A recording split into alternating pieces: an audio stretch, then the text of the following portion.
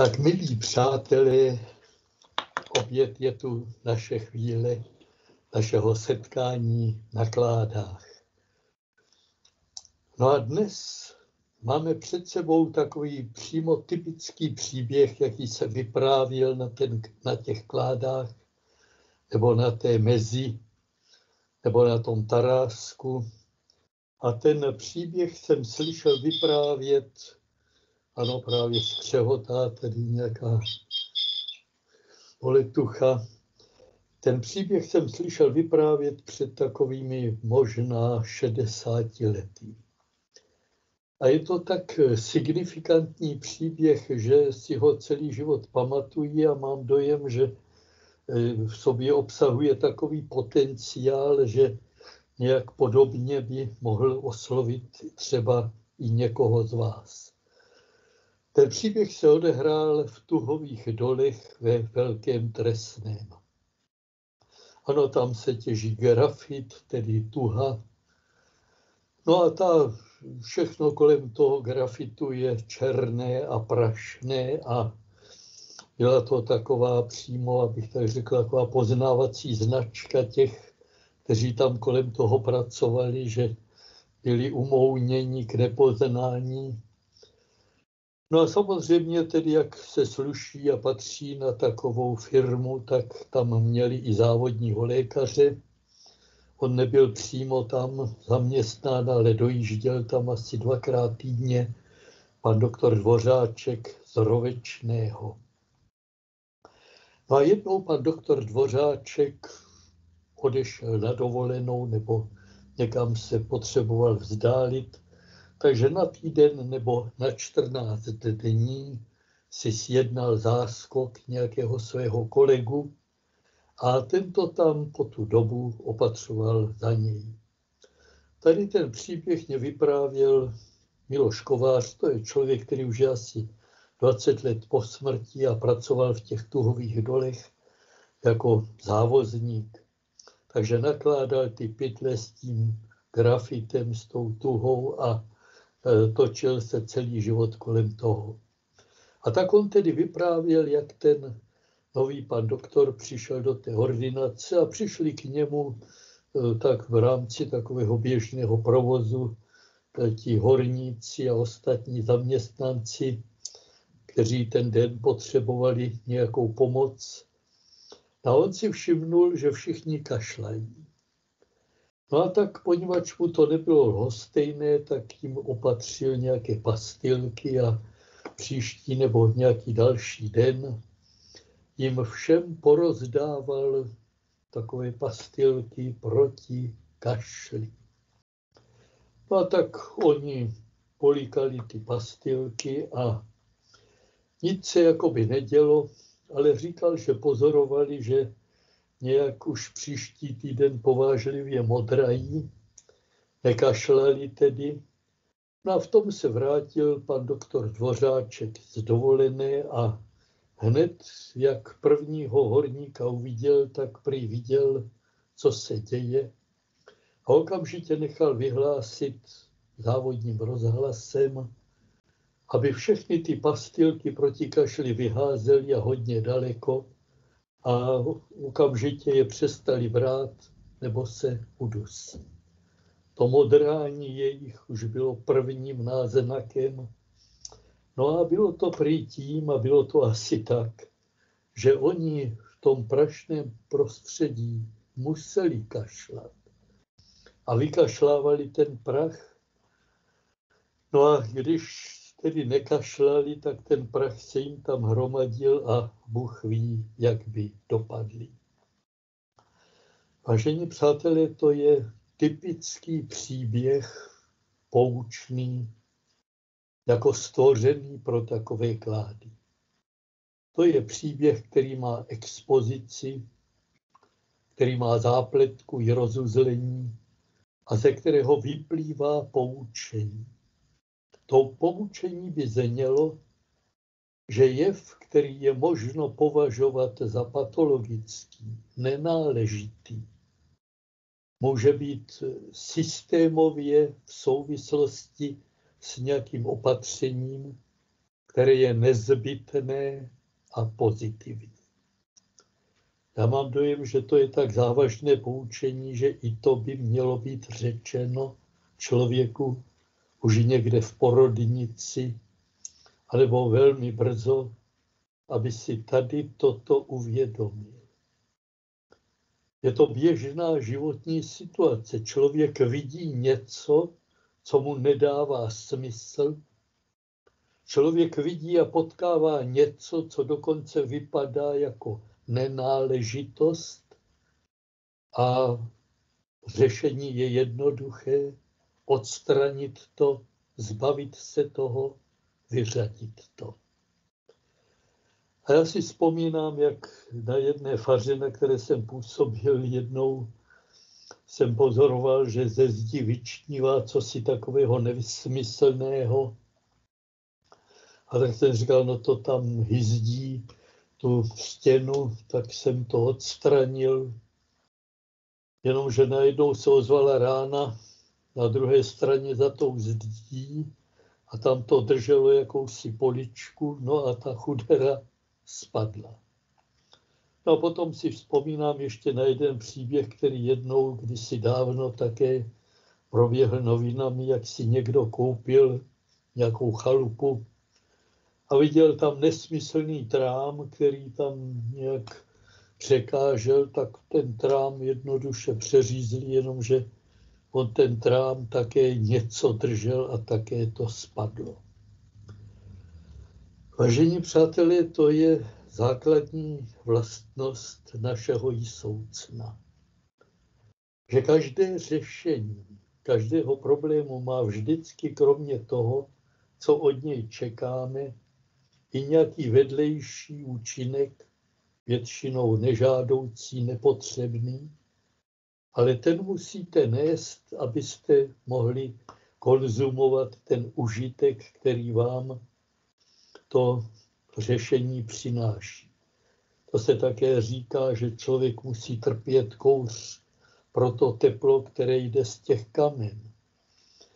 Takže tak to je na tom světě zařízeno a vlastně už taková nejstarší zobecněná zkušenost člověka je vyjádřena v tom pohádkovém motivu o draku a jeho třech hlavách, kdy, jak jistě víte, tak když ten princ Bajaja tu jednu hlavu osekne, tak mu tři další narostou. A to je právě to, že každé řešení přinese, a to někdy ještě jiné další a větší problémy, někdy dokonce větší, než byl ten původní. Proto taky ostatně se říká, že někdy může být lékař nebezpečnější než nemoc. Ale to neplatí zdaleka jenom pro lékaře.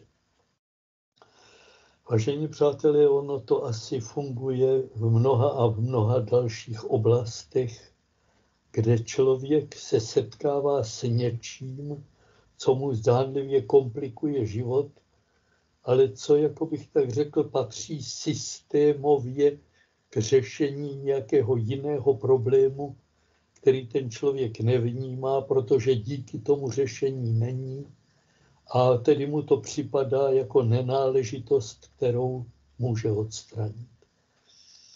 Kdybychom zůstali v té oblasti medicíny, tak to je jedna také taková situace, která také nastává, kdy člověk bere lék na nějakou chronickou nemoc a díky tomu léku ji má kompenzováno. A takže má dojem, že vlastně je zdrav a že to bere zbytečně, takže to vysadí, jenomže potom teprve se dostaví ten následek. Vážení přátelé, toto, tato zákonitost našeho bytí, ta se projevuje v nespočtu podob. A brněnský myslitel František Vymazal také má jeden aforismus, který říká, kdo chce všelicos napravit, všelicos pokazí. Ono je to tak, že ta náprava nejjednodušší je v tom, že to, co tam nesmyslně vyčnívá z té zdi, a já nerozumím tomu, k čemu to je, tak to odstraním. Jenomže ono tam na té druhé straně něco spadne na zem. A to je právě to, co by člověk měl mít na paměti, ale co takové, řekl bych, jednoduché myšlení, přímočaré, jednoplošně logické myšlení evropského novověku dost moc nerespektuje. Věci jsou ve vzájemné souvislosti a narušením jedné, odstraněním něčeho se mnohdy uvede do pohybu celá ta soustava a nastane zcela nový stav, který může být právě podstatně horší, než byl ten původní. Takže ono to má i v evropské historii a v dějinách evropského myšlení svou obdobu, když člověk objevil vědu a její potenciál, eh, tak najednou zhledal, že vlastně ty babské říkánky a povídačky náboženství a všech možných metafyzik jsou vlastně zbytečné a mohou se zahodit. Ano, evropský novověk člověka osvobodil od mnohého, čím byl člověk předtím vázán a svázán a omezen. Jenomže je otázka, zda to, co kdysi právě ty náboženské a metafyzické látky držely nějak v nějakých mezích, třeba lidskou destruktivitu, zda to právě tím nedostalo zelenou a neotevřelo cestu k rozvinutí svého tragicky ničivého potenciálu. Vážení přátelé, v tom trestném byl ještě také takový fenomén jeden, který jsme jako kluci měli jako prostor svých her a zábav. Byla to grafitová jezírka. To byly takové propady důlní, takové hluboké jámy, které byly naplněny vodou, ale všelijakým harampádím, které z té černé vody různě trčelo. A teď člověk viděl jenom ty vyčnívající kusy nad hladinu, ale neviděl, jak je to pod hladinou propojeno. A to poznal teprve tehdy, kdy tady něčím pohnul a ono se to pohnulo tam na té druhé straně. Ano, všechny věci jsou v souvislosti. A odstranit něco, co se mně nezdá, co se mně nelíbí, to nemusí být jenom tak jednoduché, nápravné opatření. To může být otevření stavidla naprosto nekontrolovanému a nezadržitelnému vývoji. Já mám dojem, že kdysi jsem si koupil v antikvariátě, nebo nevím, odkud tu knížečku mám, možná také po dědečkovi, je to jakási rakouskou herská občanská výchova. E, naprosto tedy nepoužitelná v našich dobách, protože e, tam se člověk dočetl třeba takové věci. Vrchnost vidí dál a má vidět dál. A mnohdy musí přijmout nějaké opatření, aby čelila nějakému riziku, a to opatření samozřejmě dopadne na ty poddané, jenomže díky tomu opatření to riziko se neprojeví. Projeví se na nich jenom ten nějaký negativní dopad toho opatření, kterým to riziko předpokládáme, že větší bylo e, zažehnáno. A ten poddaný může mít právě pocit, že ta vrchnost udělala něco nepatřičného, poněvadž na něj dopadl jenom tady tento negativní dopad toho opatření a nic se nestalo. A ta občanská výchova říkala, to je právě to, to by měl ten poddaný té vrchnosti věřit a vědět, že ona to dobře udělala a že to, že se nic nestalo, to je díky tomu, že e, přijala právě to nebo ono. Vážení přátelé, jednoduchost, radikalita mládí spočívá právě v tom, že mladý člověk si tyto věci, a to patří i k tomu půvabu a kráse mládí, neuvědomuje. A je radikální. Tady to je přece zbytečně. To by tady nemuselo být. To by mělo být takhle. Jednoduše.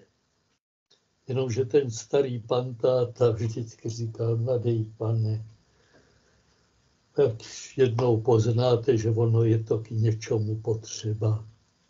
Jednou to poznáte, že to není tak zbytečné a že i tyto věci, kterým teď nerozumíte, jsou tady k něčemu a na něco a bez nich to nepůjde. Samozřejmě jsou i takové případy, že lidé trvali na něčem, když to opravdu už pozbylo ceny. Ve starém Řecku prý byla nějaká slavnost, při které se tlouklo na plechové nádoby a nikdo už nevěděl, proč se to dělá. Ale nikdo si netroufal to zrušit, protože si nikdo netroufal vzít na sebe to riziko, cože by se uvedlo do proces, do pohybu, cože by nastalo, kdyby tento pradávný zvyk nějak zrušili. Vážení přátelé, západní kultura je ve znamení toho, že doktor Novověk, který se ujal moci, tak člověka osvobodil od spousty břemen a omezení. Ale jde o to, zda dostatečně, abych tak řekl, diagnostikoval ten stav.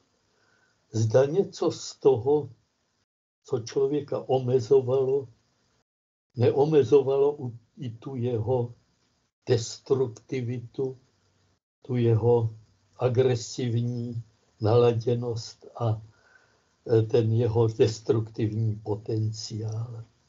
Zda právě ty mýtické obrazy, které člověku kladly určité meze, neměly také svůj smysl, který se projevoval právě v tom, že člověku byly stanoveny meze a hranice. Řekl bych, že východní kultury mají pro tyto věci trochu větší smysl a porozumění. A jedna taoistická historka se jmenuje příznačně Učte se od nefritu. Učte se od nefritu. Nefrit je holodrahokam. Když byly olympijské hry v Pekingu, tak ty medaile byly nefritové, já jsem tedy žádnou nedostal, ale tak jsem to slyšel. No a ten nefrit se tedy, ten polotovar, ten kámen se nějak zpracovává. A to učení od nefritu spočívá v tom, že rada říká, než ten klenotník nebo ten kameník nebo kdo to zpracovává, do toho udeří, do toho kamene, aby mu dal ten tvar, který potřebuje, tak ho musí studovat. Ten nefrit má nějakou strukturu. A on musí tu strukturu prostudovat, aby věděl, kam má udeřit a jak. A teprve poté, když tam udeří tou správnou silou na správné místo, tak se ten kámen oddělí tak, jak potřebuje. Když bude k tomu přistupovat voluntaristicky, tady to chci a tady, tak se mu to rozpadne na kousky. Ano, vážení přátelé, člověk, než začne odstraňovat nějaké zlo, tak by měl zjistit, zda to zlo není součástí nějakého řešení. Ono totiž být odstraňovačem zla je velice ušlechtilé a populární, Jenomže většinou to dopadne tak, že jedno zlo je nahrazeno jiným zlem a tak ani to jinak nemůže dopadnout. Takže šlo by o to zjistit, jak systémově to, co třeba ta nová generace vnímá jako zlo, jak to systémově bylo zasazeno a je zasazeno do toho celku, do té homeostázy, do té rovnováhy. A co se tedy stane, když to odstraníme? Ta historka s tím kašlem je přímo signifikantní. Ano, kdyby ten lékař věděl a on možná eh, tedy měl převahu toho, té potřeby jim pomoci, že, která zvítězila nad tou potřebou a nutností nějaké diagnózy. To je ušlechtilé, že člověk chce toto nebo ono spravit. Ale nejprve je potřeba asi zjistit, jaké místo v tom systému to, co se mně nezdá, nebo čemu nerozumím, jaké místo to tam má. Takže vážení přátelé, ještě k těm orientálním historkám, tam je ještě jedna podobná tomu nefritu, a to je o dvou řeznicích. Jeden mladý, to je příznačný, a jeden starý, a teď se jich někdo ptá, jak často si ostří nůž. Ten mladý říká, že si ostří nůž několikrát za den, a ten starý, ten eh, říká, že si nůž naostřil, když někdy před lety to začínal dělat a od té doby ho ostřit nemusel. A teď ten tazatel se zajímá, čím to je. No a teď vidí, jak to řeší ten mladý, to je ovšem tedy jistě jako jenom taková výrazový prostředek pro toho méně zkušeného, Eh, ten to řeže tam, kde chce. A tak to pižlá, že tak tu no, kudlu má stále tupou, když to pak jdou za tím zkušeným a ten říká, já, já to řežu tam, kde jsou přirozené jakési eh, mezery, tam, kde, je, tam, kde to jde samo. Já se nechám vést tou anatomií, tím systémem a eh, nedělám žádné násilné kroky. Já to řešu tam, kde to přímo potom volá. Ano, vážení přátelé, to jsou dva různé přístupy k světu a ke všem.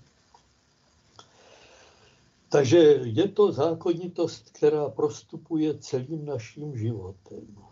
A má nespočet variací, takže myslím, že kdyby tam seděl s námi Sofoklés, tak už se jeho hra tragédie s tímto námětem bude hrát v Národním divadle. Má to nespočet variací, ať už tehdy, kdy tedy po odstranění toho zla nastane něco ještě horšího, anebo zase jiná variace s tou vrchností, kdy přijde něco nepopulárního, ale nikdo neví, proč to je a že to mělo a čelilo a také zabránilo ještě horším následkům. Takže je nespočet možností a variací, ve kterých se tato odvěká a neodstranitelná zákonitost našeho bytí může projevit. No a proto životní poučení z toho vyplývá to, když člověk zhledá, že něco je nenáležité, a to se týká i retoriky a komunikace a myšlení, tak nejprve by měl zhledat, jak to systémově souvisí s tím celkem, ve kterém je to zasazeno. Zda to není systémová součást nějakého řešení. To jsem četl také nebo slyšel jeden povzdech zkušeného člověka v jedné historické poše. Mně se to taky nelíbí, ale e, tuším, co by se dalo do pohybu, kdyby to nebylo. Ano. Může být něco, co nevypadá zrovna dokonale, ale možná to stojí v cestě něčemu ještě horšímu, něčemu ještě povážlivějšímu. Takže je to nespočet variací, které může tento příběh mít. Tato historka s kašlem. Ono je docela možné, že zdraví je stav vzájemně vykompenzovaných poruch a ten název toho dnešního povídání, jak zabít člověka vyléčením, to je právě to.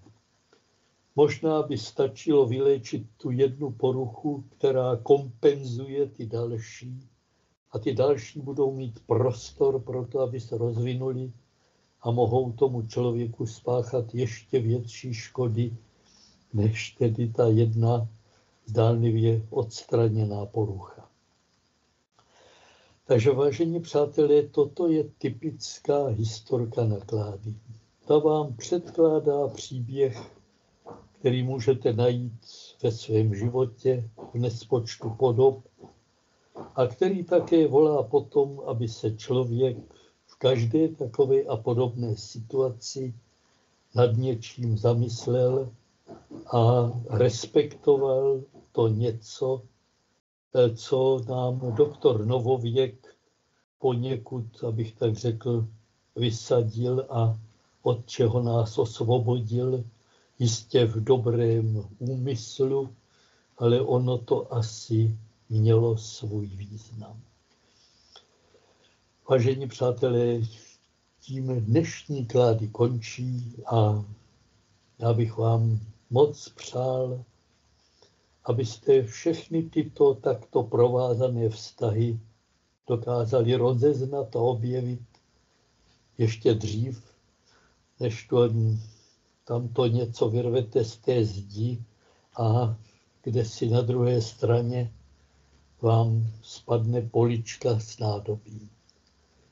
Přeji vám krásný a radostný prázdninový červenec, mnoho veselých zážitků a opět se sejdeme za týden. Děkuji vám a mějte se hezky.